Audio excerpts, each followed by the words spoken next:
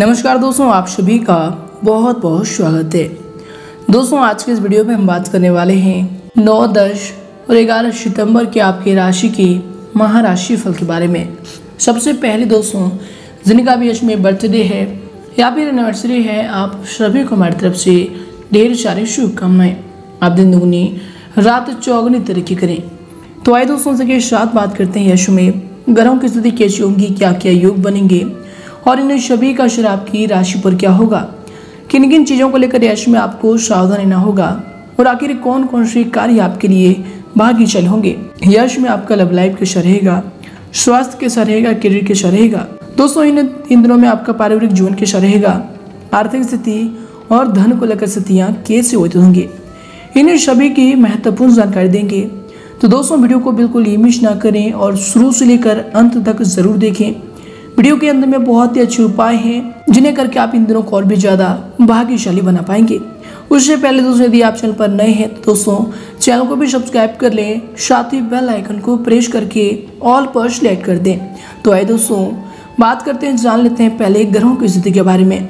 सबसे पहले दोस्तों नौ सितंबर की बात करें तो गुरुवार का दिन होगा, शुक्ल पक्ष की तृतीय तिथि, और हस्त नाम का नक्षत्र के साथ ही ब्रह्म नाम का शुभ योग रहेगा। जी दोस्तों राहु कल के समय की बात करें तो यह समय रहेगा दोपहर के एक बजकर छप्पन मिनट से लेकर शाम के तीन बजकर अट्ठाईस मिनट तक। दोस्तों, ध्यान रहे, आप ये राहु कल के समय में कोई भी शुभ और महत्वपूर्ण कार्यों को बिल्कुल ना करें। और दोस्तों चंद्रमा दिन कन्या राशि को उपरांत तुला राशि में गोसर कर जाएँगे। वही दोस्तों, अगले दिन की बात करें तो दोस्तों, अगले दिन शुक्रवार का दिन होगा। शुक्ल पक्ष की चतुर्थी तिथि होगी। चित्रा नाम का नक्षत्र के साथ ही इंद्र नाम का भी योग रहेगा। जी हाँ दोस्तों, यह योग भी आपके लिए लाभकारी होंगे। राहु कल का समय दिन सुबह के दस बजकर इक्यावन मिनट से लेकर दोपहर के बारह बजकर तेईस मिनट रहेगा। और दोस्तों चंद्रमा दिन तुला राशि में ही संचार करेंगे। मैं दोस्तों, आखिरी दिन ग्यारह सितंबर की बात करें तो शनिवार का दिन होगा। शुक्ल पक्ष की पंचमी तिथि, स्वाति नक्षत्र और इसके साथ ही वैद्यति नामक शुभ योग रहेगा। राहु कल का समय दिन सुबह के नौ बजकर उन्नीस मिनट से लेकर सुबह के दस बजकर इक्यावन मिनट रहेगा। और दोस्तों चंद्रमा दिन तुला राशि के उपरांत वृश्चिक राशि में संचार कर जाएँगे। तो आए दोस्तों बात करते हैं इन तीनों की जो ग्रहों की स्थिति है और चंद्रमा का जो गोचर है, आपकी राशि पर क्या क्या प्रभाव लेकर आती है। चलिए दोस्तों बात करते हैं पूरे विस्तार से।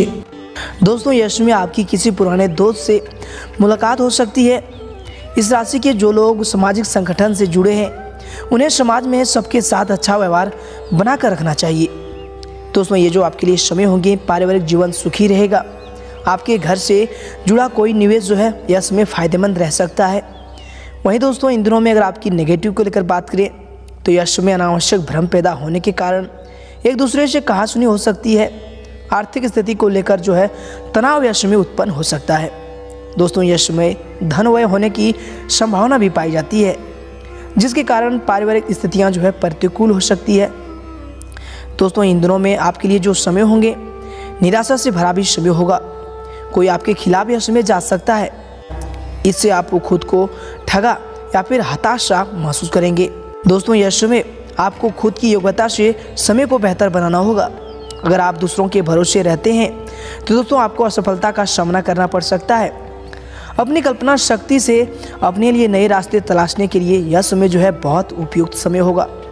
वहीं दोस्तों, इन दिनों में अगर आपकी करियर को लेकर बात की तो ये जो आपके लिए समय होंगे जॉब में आपकी सकारात्मक सोच आपको नया मुकाम दिला सकती है। दोस्तों, इन दिनों में आत्मविश्वास आपको आगे बढ़ने की राह दिखाएगा।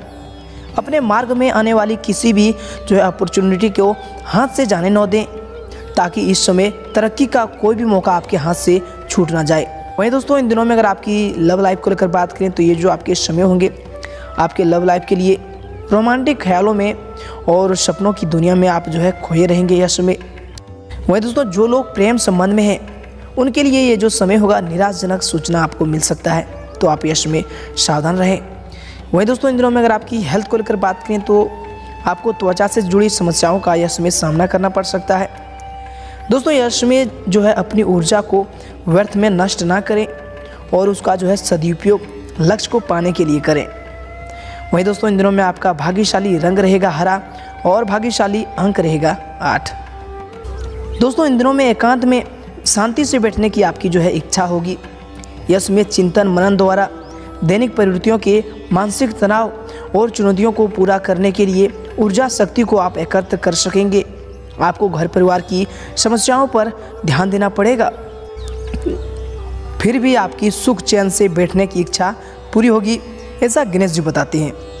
वहीं दोस्तों, इन दिनों में अगर आपकी वित्तीय स्थिति यानी धन को लेकर बात करें तो ये जो आपके लिए समय होंगे इन दिनों में घरेलू आवश्यकताएँ और डिमांड जो है आपके दिमाग पर हावी रह सकती है। हालाँकि स्वभाव से तार्किक और व्यवहारिक होने के कारण आप अपने ऑफ़िस के रेगुलर काम के जो साथ इन चीज़ों को भी अच्छी तरह से संभाल पाने में सक्षम होंगे। दोस्तों, यश में गणेश जी आपको यह सलाह देते हैं कि दोस्तों, आप अपने सीनियर्स के साथ यश में बहस ना करें।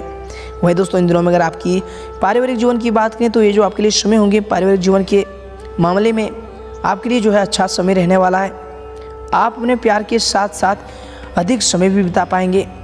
दोस्तों इसमें प्यार की कंपनी को जो है आप अत्यधिक खुशी देंगे। दोस्तों इसमें अगर आप किसी के साथ रिश्ते में कमिटेड हैं तो दोस्तों, आप उसके साथ शादी या फिर सगाई करना चाहेंगे। दोस्तों, इन दिनों में अगर आपकी आर्थिक स्थिति की बात करें, ये जो समय होंगे आपके लिए फाइनेंस के मामले में दिन पॉजिटिव रह सकता है। जो निवेश करना आपने तय किया है उससे आपका वित्तीय भविष्य उज्जवल नज़र आ रहा है। दोस्तों, इसके अलावा भविष्य में यदि आप किसी प्रकार का निवेश करना चाहते हैं तो उसके लिए प्रॉपर्टी अच्छा विकल्प होगा।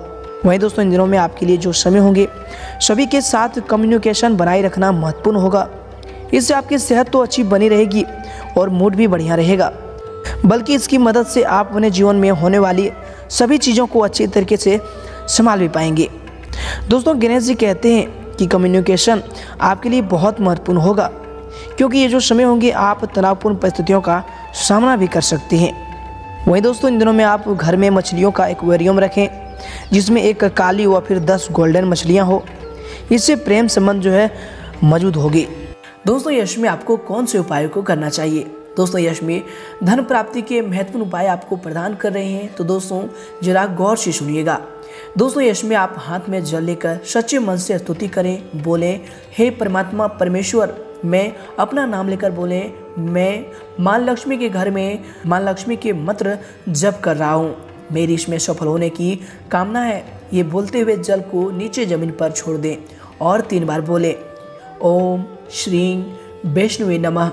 दोस्तों, अब आप आँख मूंद कर माँ लक्ष्मी जी के मंत्र को जो है तीस मिनट तक जाप करते रहें। और दोस्तों, ये उपाय आपके लिए इतना भाग्यशाली होंगे।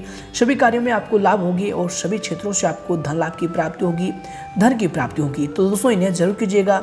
ये आपके लिए इसमें के लिए बहुत ही भाग्यशाली रहने वाले हैं। और शायद दोस्तों, और ऐसी अधिक जानकारी के लिए चैनल को भी सब्सक्राइब कर लें। वीडियो को अधिक से अधिक लाइक करें, शेयर करें। धन्यवाद।